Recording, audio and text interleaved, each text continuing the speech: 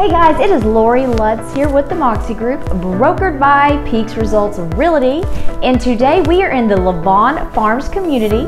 I am visiting one of the Pacesetter homes. This builder's price ranges from 270,000 to 350,000. They have 10 different floor plans to choose from, and after you choose your floor plan, then you get to choose from four different in-home design packages. It is so easy and you cannot go wrong with any choice. These homes come with a Ring doorbell and a brilliant smart home control. They have $15,000 in free upgrades on colors or options. And if you use one of their preferred lenders, you will get $4,000 off on closing costs and the lender will pay $2,500 towards title policy.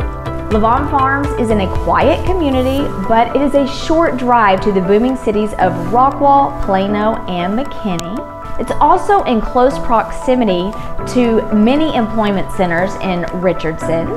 This neighborhood is part of Community ISD, just minutes from Nesmith Elementary, Leland E. Edge Middle School, and Community High School. It is five minutes down the road to Lavon Lake in Lake Ray Hubbard.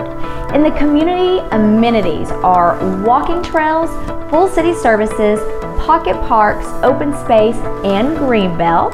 Now let's take a look at this gorgeous Pacesetters model home, the Coppell.